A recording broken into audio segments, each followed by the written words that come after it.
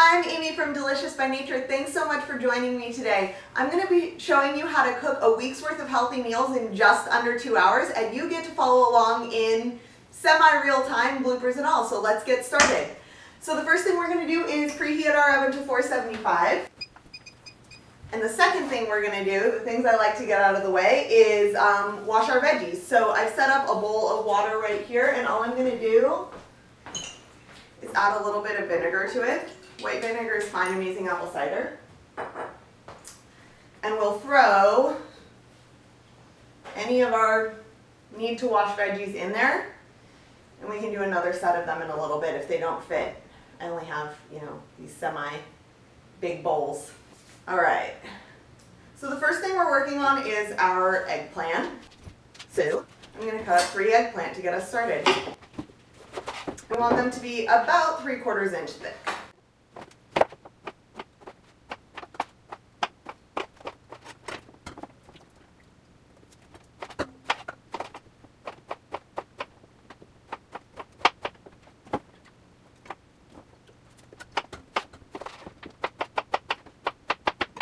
Now that the eggplant are all cut up, I'm going to line two baking sheets with um, either tinfoil or parchment paper, whatever you have, and cover them in olive oil and get them in the oven as soon as it's preheated.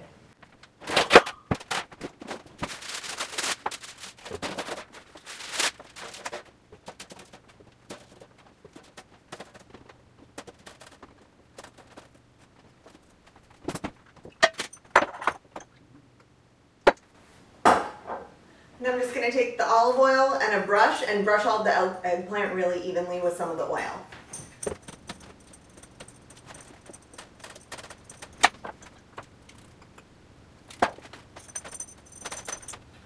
And flip them all over, make sure you do the other side.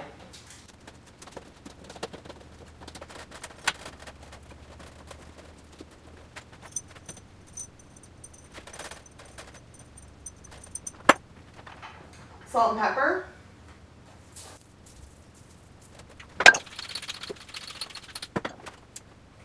So next we're going to work on something called labna, which is basically a strained yogurt that almost becomes cheese-like and makes a great topping. It's going to go on our eggplant and chickpeas. It could go on top of some curried lamb. Can go on top of any grain bowl you have and make it super delicious. But it takes a little while for the whey to strain out of the yogurt and become that thick kind of cheesy consistency. So we're going to get started on that now. So I have my bowl, I have a colander, and then right here I have, um, this is actually a nut milk bag. I recognize that most people probably don't have that sitting around their house. So if you don't, um, a couple layers of cheesecloth is perfect for lining your colander with, otherwise all the yogurt's going to slip through. I am using um, Straus 100% whole milk yogurt, and the reason for that it's going to make like a rich, um, cheesy consistency and you won't get that with something more non-fat, but if you insist, then do whatever your little heart desires. This is all just going in here. And basically, at this point, we're just gonna set it aside and let it drain until we're ready to season it with some of our herbs um, towards the end of the cooking session. I don't know if you can see that, but that's what it's looking like. Great, so next up we're gonna make sure that we get our sweet potatoes all washed because they're gonna go in the oven along with the um, eggplant that we're working on. Sweet potatoes definitely benefit from scrub. I have got this cool little scrub brush, brush at Whole Foods. You can find it on Amazon too, just to get all the dirty nooks and crannies. I actually got a mix of Japanese sweet potatoes. I like to serve those with eggs for breakfast, which is one of the recipes for this week. And then I got a few garnet sweet potatoes because those are going to go to, into our spicy tuna cakes. So we just need a small tray for these. And again, some parchment paper. Just makes cleanup a lot easier. And uh, if you still have any of the olive oil, you can brush these with that too. It's going to keep the skins nice and um, tender so that if you actually want to eat them when you're enjoying your sweet potatoes. They're a little bit less crispy, crunchy. Otherwise, you can feed those to your dog. And then I'm just going to poke each one with a fork a few times so that they don't explode in the oven. Great, so now while we wait for our oven to preheat and then while we wait for things to bake, we are going to start working on chopping some veggies The veggies are, to me, like the cornerstone of having healthy food ready for the week is a big tray of roasted veggies. So I've bought some bell pepper, I've bought some broccoli, I have some cauliflower, and I have an onion that we're gonna chop up for that. We're gonna put it in one big bowl, we'll toss it with seasoning and olive oil, and then we'll wait until everything that's going in the oven right now is done, and throw that in the oven towards the end so that it can get all nice and roasty and we can store it for our meals for the week. All right, so now we're gonna get down to uh, getting our veggies ready for roasting. So the main thing is that we wanna cut them into evenly sized pieces, regardless of what the, that size is. I prefer about a half an inch, um, maybe a little bit less, so that's what I'm gonna be working on right here. And any veggies you haven't washed yet can go in the water to wait for you to be ready to use them.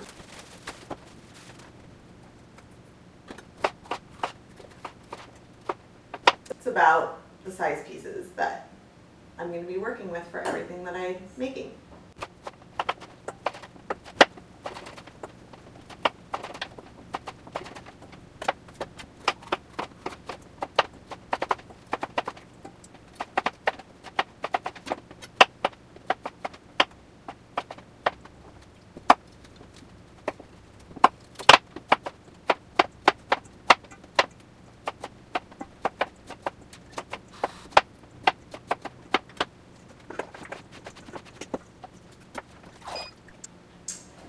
So I can hear right now that my oven is ready to go, so I'm gonna get those things in there so that they can get cooking. They're gonna take about 40 minutes. So um, we wanna make sure we get those cranking so we can work on other things while they work away in the oven.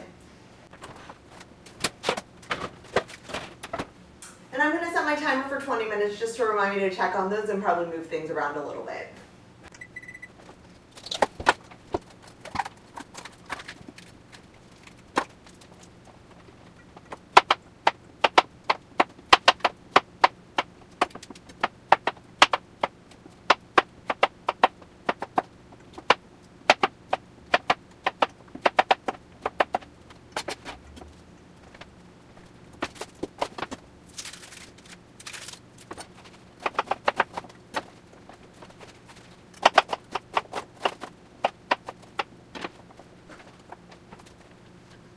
Oh, that was a strong onion. So this is our bowl of red veggies that's going to be ready to roast once our oven clears up. So I'm just going to set this aside for now and we'll come back to it in a little bit.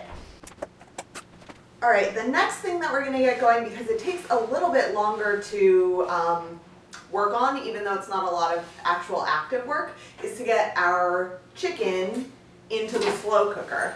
Um, you could do this in the oven if you wanted to. It would take faster time, but it's also going to space out your prep time longer because you're going to need to wait till all of those things that we already have in the oven get out of there and it just kind of like makes for more active time. So I prefer to use the slow cooker for this application. So we're starting with one whole roaster chicken, just a whole chicken. So whole chicken, and I'm just going to clear out my veggie cutting board because I want it to stay nice and clean without all of the chicken juice. Alright, so we have our roasting chicken, a pair of kitchen shears because that's just going to help us open everything up. And then I have some, um, it's called magic mushroom powder that I made uh, based on a recipe that you can find on nom, nomnompaleo.com. Say that five times fast. And we're just going to rub the chicken all over with that and put it in the slow cooker and let it cook up nice and tender. And it's going to be great for putting on salads or putting on grain bowls or um, you know, you can even make stir fries with it, and you can freeze any leftovers, which is just a really awesome way to have healthy food ready to go whenever you want it.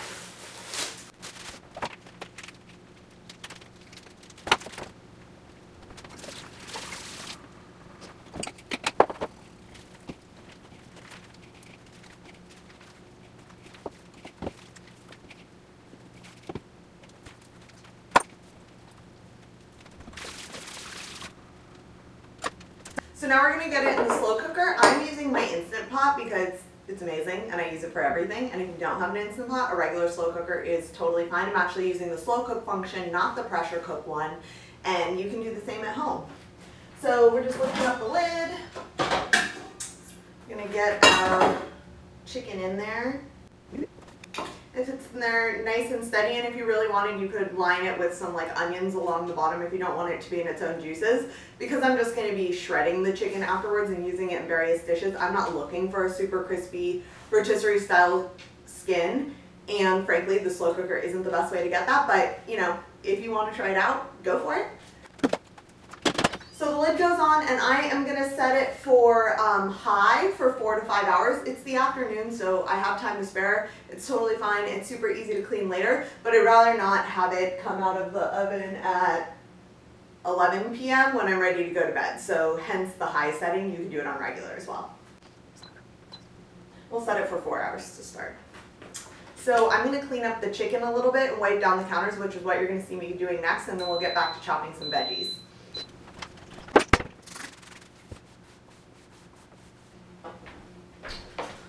Okay, now that the chicken's all cleaned up, my hands are super washed, we're gonna get back to chopping up some things that aren't going in the roasted veggies. So this is our other veggie chopping session.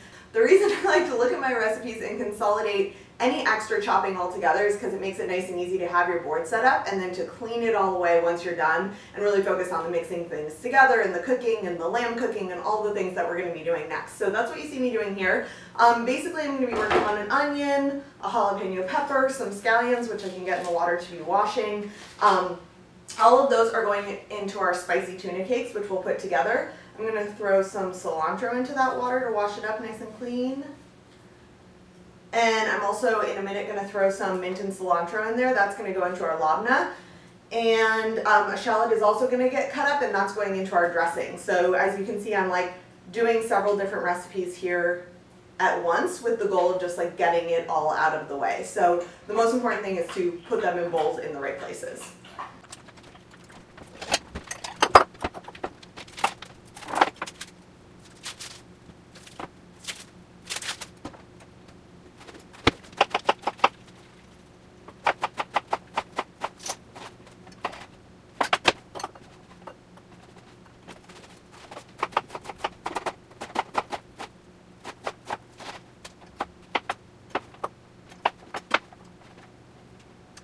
This is our diced onion. That's going to go in with the lamb when we start to cook it all together. So next we're going to work on the um, scallions. So we're going to chop up five of them. Three of them are going into the um, spicy tuna cakes and a couple of them are going, going into our labna. And the part of the green onion you want to use is um, just this kind of like white and light green part down here. And it's super easy if you just hold them all together in one big bunch, cut the ends off, and then slice them nice and thin.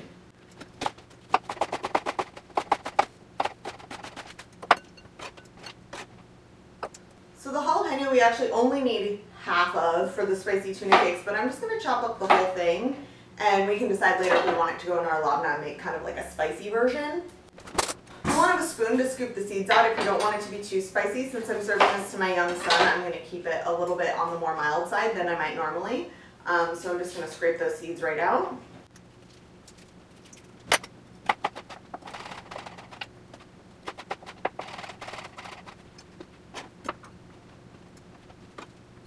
And we can also chop up some of our cilantro for these spicy tuna cakes.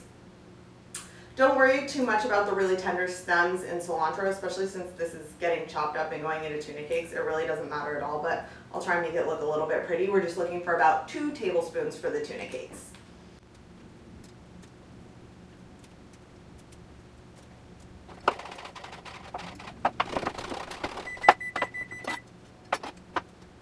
So my timer's going off, letting me know that it's time to check on those eggplant and sweet potatoes. I'm just going to take some tongs in case you can't see me um, and turn everything over. Make sure that it's cooking really well and then set the timer for another 20 minutes.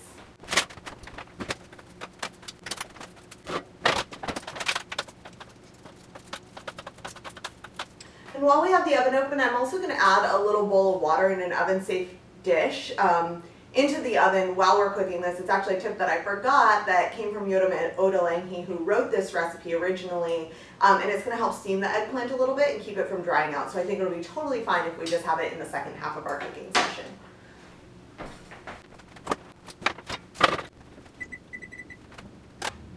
Alright, so I'm going to finish up my chopping with a shallot. Again, this goes into the dressing.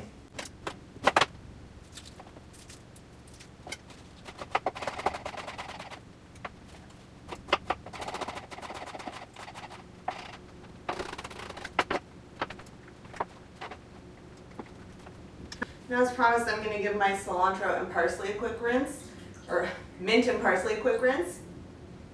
These are from my garden, so they're already kind of chopped into pieces, and because these both are going into the labneh, there's really like nothing to, too much to be done besides just chopping them.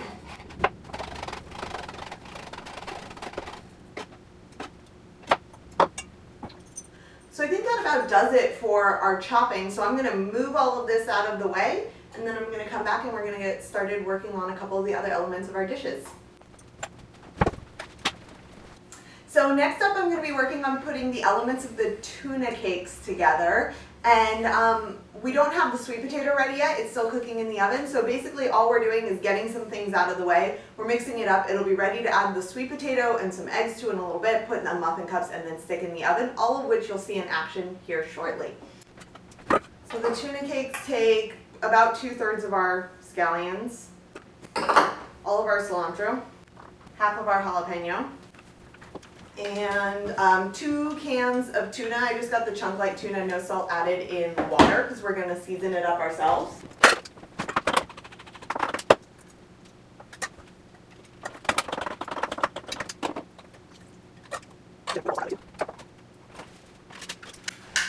And then in here, I'm going to zest one lemon and season it up with salt and pepper and red pepper flakes if you like it really spicy. So this is our tuna mixture. And like I said, in just a little bit, we're going to add some cooled sweet potato, one of the ones that we cooked up earlier, um, some egg, and we're going to put it into muffin cups and put it in the oven. So once we've gotten a quick hand wash, we're to start working on our oatmeal because we have a little bit of time and it basically just sits in the fridge overnight. There's no cooking needed and it'll be ready to heat up all throughout the week.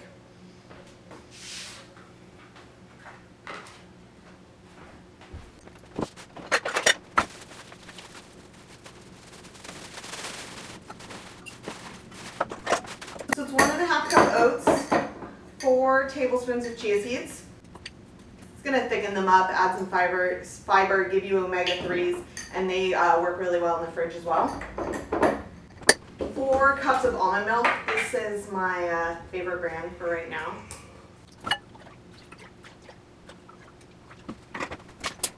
A few sprinkles of cinnamon, depending on how much you like it. A quick stir. And this gets covered and goes in the fridge and it'll be ready for us to eat as soon as tomorrow morning, topped with some nut butter, some bananas, whatever kind of fruit you have on hand. Nice and easy, no cooking required.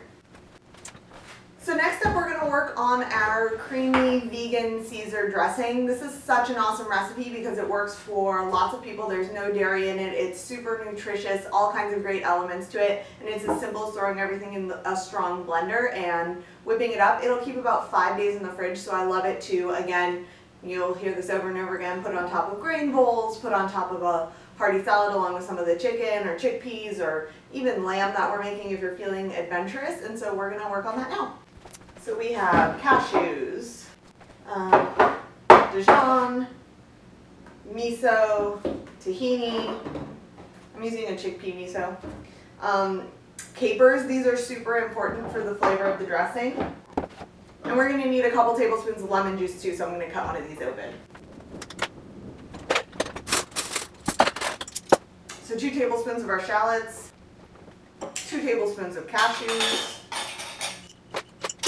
one tablespoon of tahini, sesame seed paste,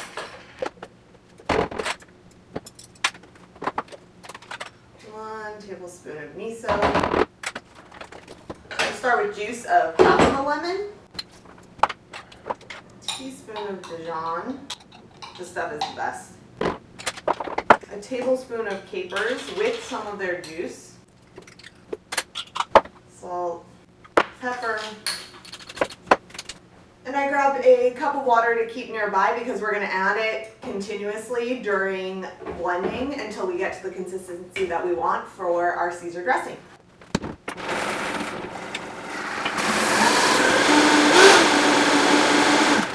It's looking pretty good and fluid. One thing to note is that this dressing does kind of harden up as it sits in the fridge. So you may want to add extra water or just know that you can always stir in some like extra, a touch of warm water later to thin it out if it gets too thick. I think that's pretty good. So this is going to get stored in the fridge for use all throughout the week.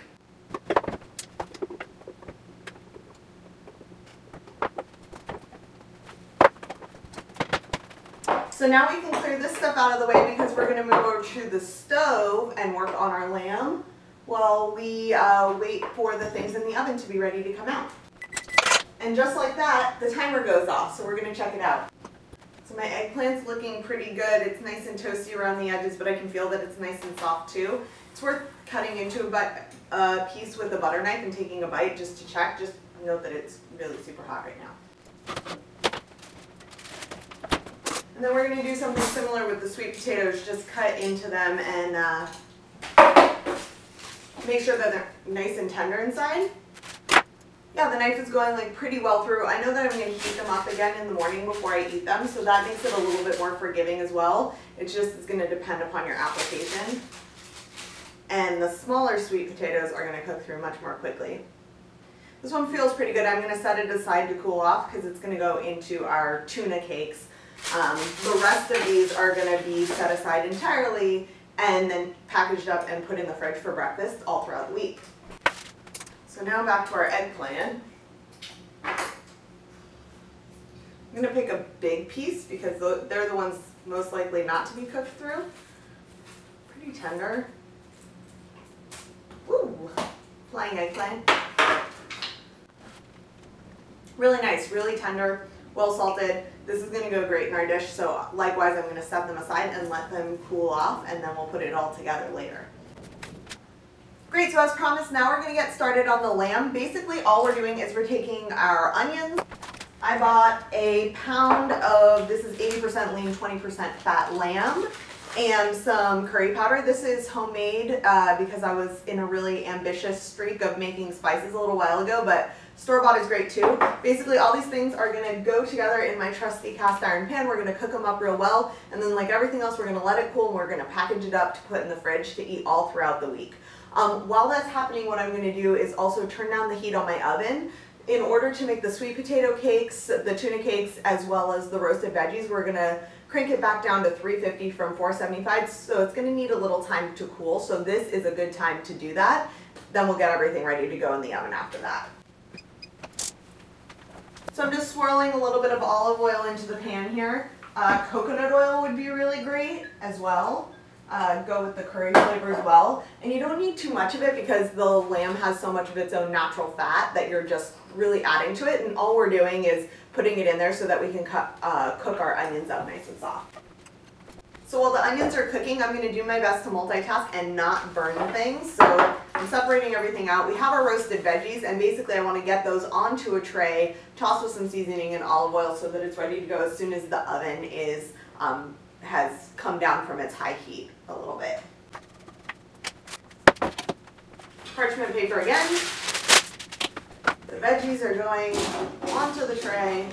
If they won't fit in a single layer, you're going to want to use two trays just so that they have plenty of space to cook and get nice and brown. This look, looks like it's going to be okay, um, but you want to make sure that yours is as well.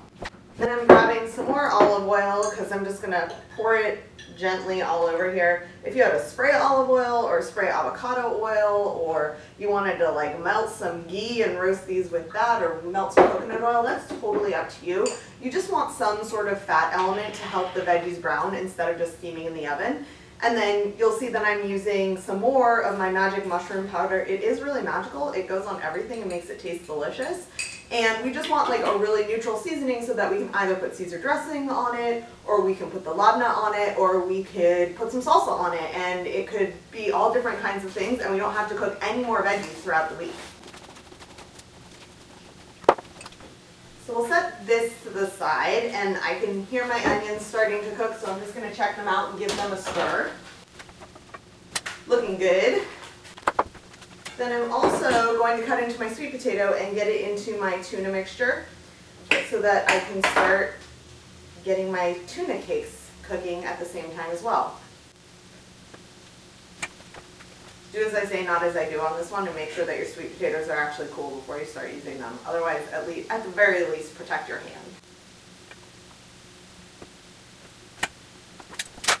Mixing this all up. Might even use a masher a little bit to get that sweet potato nice and mashed, and you could also do that separately before you put everything together.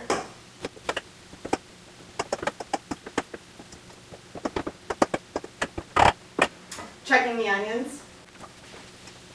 So the onions are starting to cook through, they're starting to get a little bit of that yellow color and kind of get translucent. This is a good time to add the curry powder and the lamb because the lamb is going to take a while to cook together and this is going to give all of them a really similar great flavor.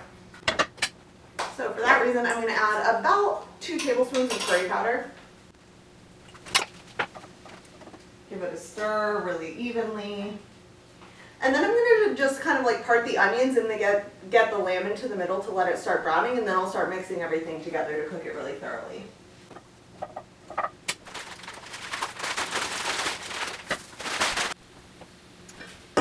Great, so while that's cooking up, I'm going to stir in two eggs to hold this all together and then get it into the muffin tin so it can go into the oven. So I'm using these silly silicone muffin tins because it's what I have, but if you have the metal ones, they're even better. You're just going to want to give them a good spray so that they um, stay nice and non-stick. So two eggs. Stirring it in there. And then I have this avocado oil spray. If you have any other sprayer, um, preferably olive oil or avocado oil, or even I've seen coconut oil ones of this, you can use that. You could use the brush we used earlier with olive oil to rub this. You could melt some ghee and you could get the cups with that. Anything to keep your savory muffins from sticking. And now I'm just going to fill them up.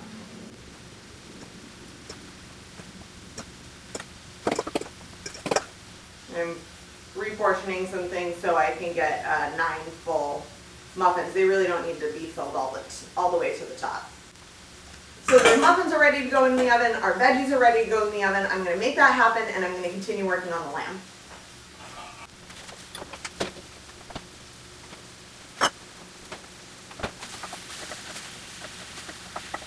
Before I forget, I'm going to set the timer for another 20 minutes. That's about how long the uh, tuna cakes are going to take. It's definitely going to take longer to roast the veggies, but we're really on the downhill slope to having everything ready to go and packaged in the fridge.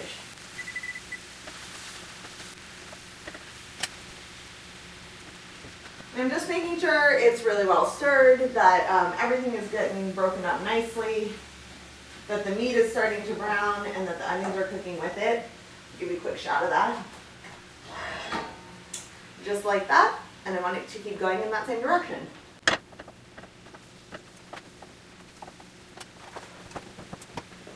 So what I'm going to do now is start putting everything away. Anything that's cold is going into containers and letting that happen while the meat cooks and while everything is roasting in the oven because there's really not that much else to do. We're just waiting on the labneh to be, or the yogurt to be drained enough to stir in all the seasonings for our labneh.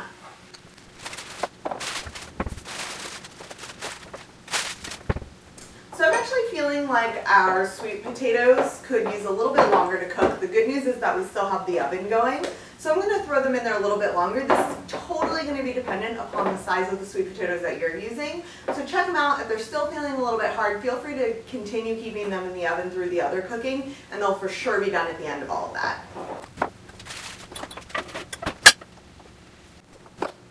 So I'm just going to combine everything that's going to go into my labneh into one bowl, mostly because I'm cleaning up and I want it out of the way. Um, I have some extra shallots. I think it could go in there. If you don't have any, no big deal. If you don't like them, don't put them in. Completely up to you. Um, but this is the mixture that we're going to be stirring into the yogurt to season it up nice and well.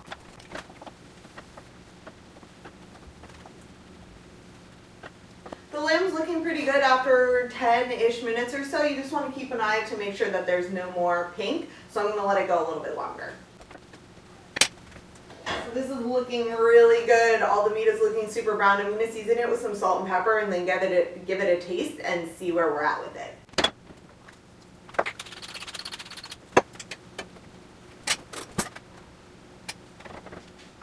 Really good. It's going to make a great addition to our dishes all throughout the week. So I'm just breaking up the meat a little bit more, and then I'm going to turn off the heat and let it cool down before we package it up and put it in the fridge. So my timer went off, so I'm going to check on the uh, tuna cups. They are looking nice and done. I can tell just kind of by pressing on the middle. While I'm in here, I'm also going to stir the vegetables. I also checked on those sweet potatoes that I stuck back in there, and they still seem like they're... Nap time's over. I also checked on the sweet potatoes and checked, and they still look a little bit not done. So now that the tuna cakes are out and we don't have to keep it at the 350 temperature, I'm going to crank it to 400 in hopes of cooking those vegetables and the sweet potatoes a little bit faster. While that's happening, I'm cleaning up. I've already cleaned up most everything, and you can probably hear the dishwasher running. Um, so it's almost completely clean. We're, um, we have tons of food ready to go. I'm going to show you all of that package at the end. And I'm still checking on the labneh just to make sure that it hasn't strained too much. We're not there yet. It still needs a little bit more straining time. See you back here in a few. So nap time's over, and while the kitchen is mostly clean, we're still waiting on those roasted veggies and a few of the sweet potatoes to cook all the way through. So I have my helper Gavin here, um, and he's going to try out some of the sweet potato uh, tuna cakes that we made up earlier, and then I'll show you how to get them out of the pan as well if I can get some free hands. You want to try some tuna? What do you say? What do you say? Is it good? Yummy? More? Okay. So we had we made nine with that batch. I'm sort of wishing we had made more since one is already being devoured. devoured. Um, so take that as a lesson. Maybe you should make a double batch if you have someone who's going to really enjoy them as well. So I'm back. I checked the veggies. I can tell that they're almost done. You can see that I've been doing some solid work on getting everything ready. So amidst cleaning up pretty much the entire mess that I made, I've also packaged up the tuna cakes, the sweet potatoes, the ground lamb is back here. Um, I will take a picture of everything. Oops.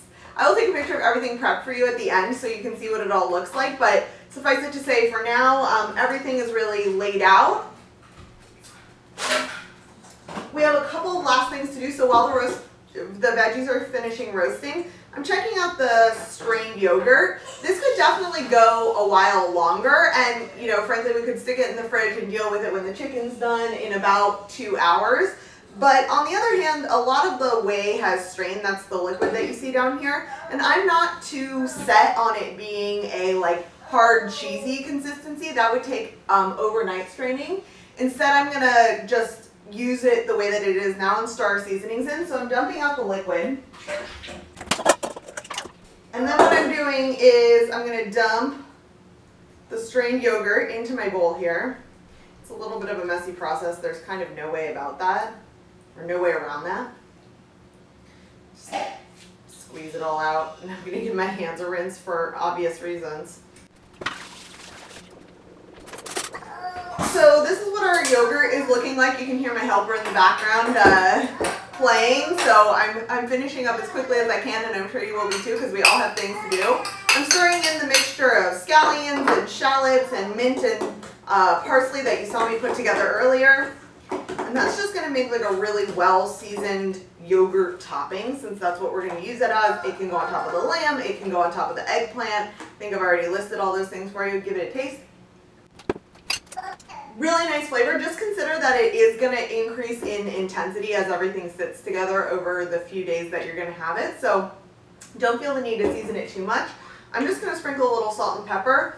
Uh, if I wasn't overzealous and had already put my zester into the dishwasher, you could absolutely add some lemon zest in here as well. It's already pretty tangy, but it would just add some nice brightness. Give another stir. And then before I put this in the fridge, I'll get it into a, a better container for that.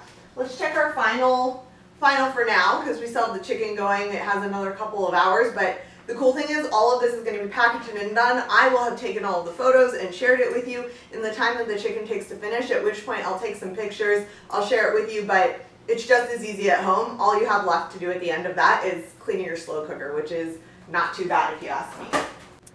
So my veggies are nice getting some nice color. They're nice and roasty. I'll let you kind of check that out as much as you can through the steam, but you can see some like nice coloring on them. And like I said, this, these are going to be really versatile. They're going to be able to go into a grain bowl. Um, they could go into a salad with your Caesar dressing and your chicken. All kinds of places. They could be used in like a salsa and guacamole bowl. Um, but a great way to have veggies on hand. I'll make a list of all of those things, all those suggestions for you that you can check out on my website, deliciousbynature.com. In the meantime, I'll take some pictures, I'll share that with you, but that's about it for the cooking portion of today. I hope you've enjoyed it. I hope that you tried it at home, and I'd love to hear your results if you give it a try. Thanks.